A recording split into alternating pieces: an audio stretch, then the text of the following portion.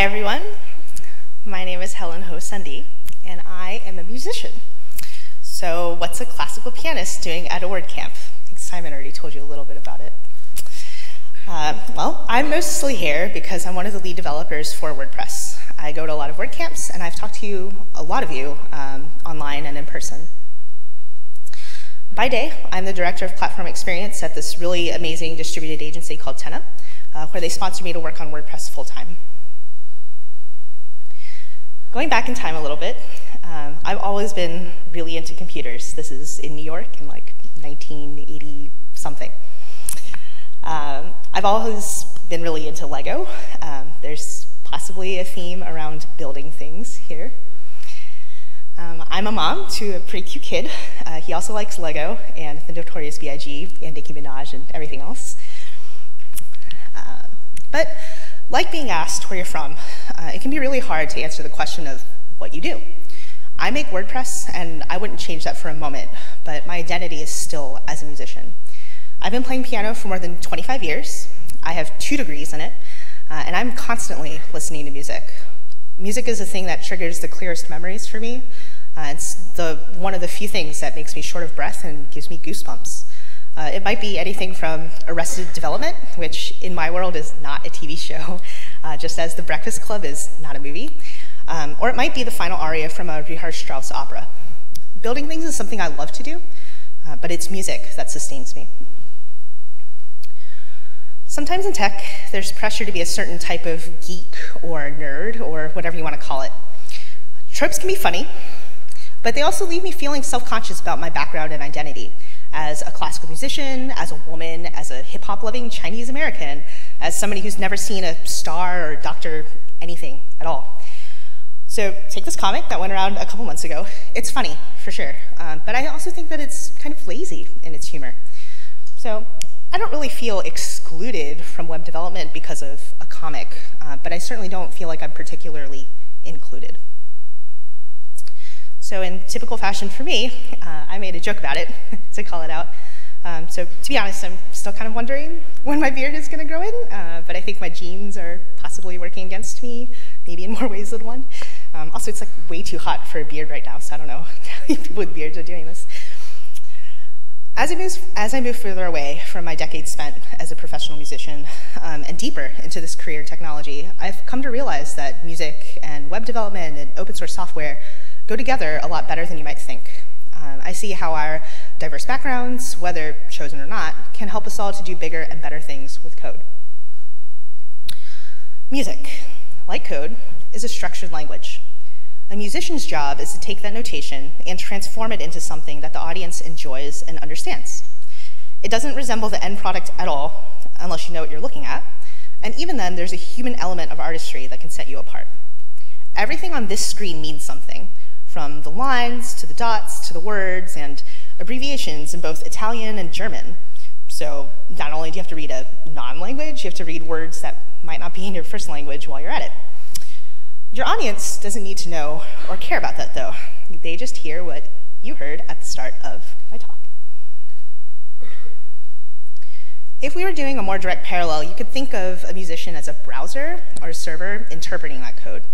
A developer is perhaps more like a composer, uh, able to take the components of that language and create something that becomes meaningful. But it's the same set of skills, understanding an abstractive form of expression and being able to envision how it translates.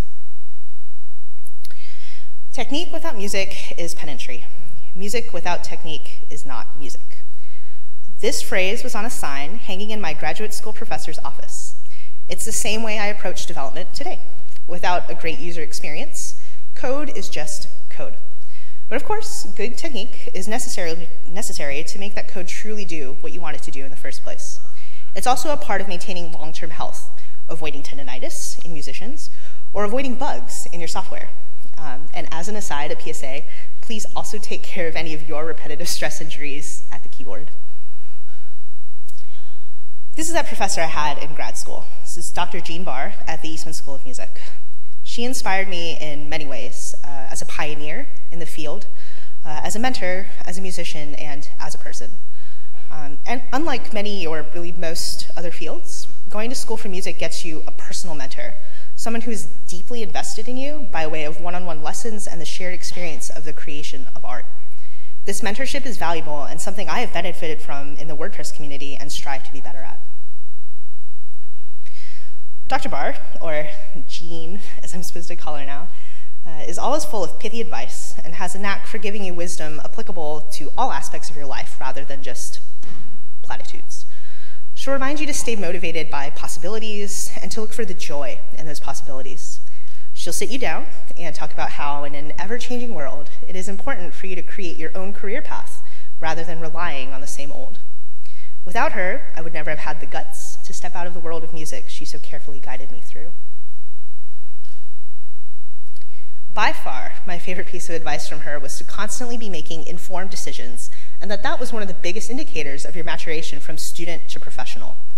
You've got the ability to read music and the physical technique of producing that music down. But to truly produce something faithful and meaningful, you need to make musical decisions based on further data. How would I interpret a tempo marking of Allegro based on whether it's Mozart, Beethoven, or Brahms? How do I determine the proper tempo of a Bach saraband without an actual tempo marking? Is this Lied I'm performing with a vocalist happy or wistful based on the German text that's been set? This is the original vocal line of the piece I played earlier. It was on screen while I was playing. Uh, this is Widmung by Robert Schumann, um, and I played a solo piano arrangement by Franz Liszt. Um, here we see the importance of cross-discipline knowledge. I need to know why Schumann wrote the piece, the history of the Schumanns themselves, uh, some amount of German, and possibly even background about the writer of the original poetry. Widmung is a part of a song cycle called Myrten. Uh, Robert wrote for Clara as a wedding gift. It is a declaration of love and joy at finally having her hand through some tough and actually kind of weird circumstances. Um, if you think, you know, pop music is weird, you should read some classical music history. Um, but that makes it a jubilant piece.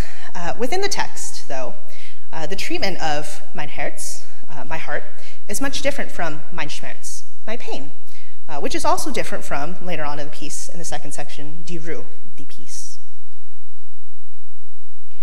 I use the same lessons about making informed decisions and embracing cross-discipline knowledge while making software. The phrase data-informed development is thrown around, uh, usually as a counterpoint to data-driven development. We use statistics or user testing to help us figure out what the right next step is. We may need to utilize knowledge from other areas to achieve the greatest possible success. Design concepts, almost certainly, uh, project management skills, or an understanding of the needs of users who use their software interfaces in other languages or on different devices. We also hear about the WordPress philosophy of decisions, not options. We, as software creators, make informed decisions about what serves users best, and we look to enable those users to make the best decisions possible for what they need to accomplish. Discussions about making those decisions uh, during our weekly lessons were usually accompanied by a reminder that you should still trust your instincts.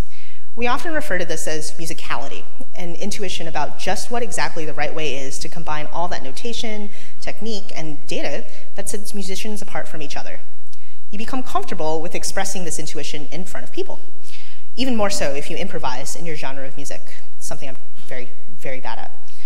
I rely on my instincts heavily in my work on software, uh, especially when it comes to the user interface.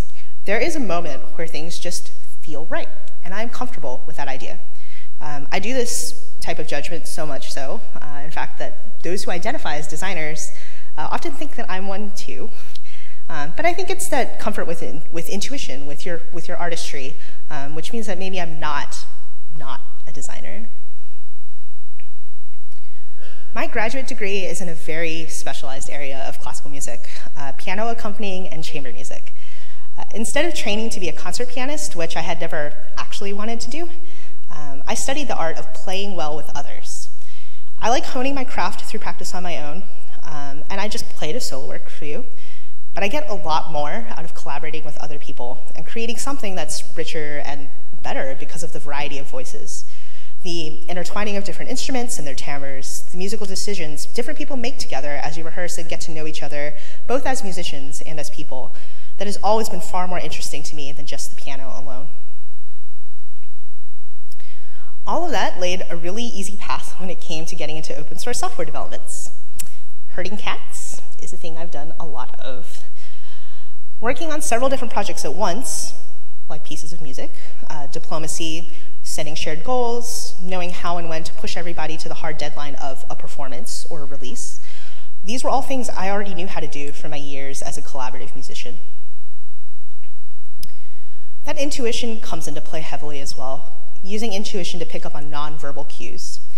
I've played for numerous auditions where you don't get a chance to rehearse with the other person ahead of time, so you can maybe gather a little bit of extra data on who they are, what kind of musician they are.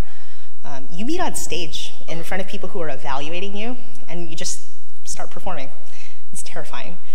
Um, it's a good way to make money, but it's terrifying. Even if you're not strangers, you're constantly switching from looking at your music to your hands to your partner, trying not to look at the people who are judging you. But you learn to listen for common cues like taking a breath or a subtle shift in tone, and you're constantly micro adjusting to fit. It makes herding cats a lot easier when you can quickly identify and respond to their needs. Andre Previn, a famed pianist, conductor, and composer, recently said, if you're going to be a musician, you must be interested in new things all the time. The thing that I love the most is that both of these fields, music and web development, involve lifetime learning. Most people spend their whole life learning, even despite their best efforts. Uh, but there's something really special about being in a field where you absolutely have to be self-motivated to build the skills that you need, and where those skills might change hour to hour. In music, there's always something to learn for every gig you play. A new piece of music, a new acoustical environment, a new composition style, maybe a different style of notation entirely. If you play the piano, you probably have to deal with an unfamiliar instrument, for those of you who were in here earlier as I was practicing and I was doing things that sounded kind of weird, it's because I'm trying to adjust to the piano. Very few people get to travel with their own nine-foot concert grand. They're like three people, and two of them are not alive anymore. I would say the internet changes every 20 minutes, and I'm not really kidding. Uh, new things are always happening, and there's so much to learn that doesn't just replace what you already knew. It complements it, likely even enhances it. It could be a language, it could be software, it could be a new approach. You're always learning, and you thrive on that, even if staying on top of the game can be really frustrating sometimes. Um, I commissioned this amazing piece of animated art in 2014 um, from a friend at Boku. Um, and even though it's only been two years, uh, there's a lot that's emerged in the meantime, and that's changed. Um, but I think the sentiment still rings true. So, true, it means that even when your paid gig is over, you often still have to find the energy to practice your craft. That ability to practice more isn't feasible for everybody, and I think that's what actually makes us very fortunate to be able to do this in the first place. Nobody can stand next to you and tell you exactly how to practice either. You have to be self-driven and learn how to learn. not only does the self-motivation make me a better developer, it also makes me better at working remotely, both in a distributed company and a worldwide open source software project. In preparing to give this talk, um, I chatted with developers I know who have come from a background in music. Um, it's actually sort of unsurprising that it's a significant number of people. Um, I met someone whose mentor at a major tech company had once told him that hiring a musician who was qualified for a software position was almost always preferable. There are many other lessons I could talk about that we shared. Uh, the knowledge of what it means to constantly and iteratively improve on your work.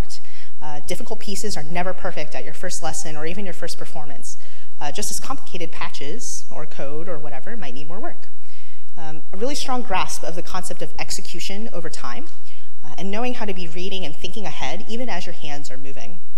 The value of offline and mental practice, envisioning concepts or planning how you might do something without actually producing sounds or code.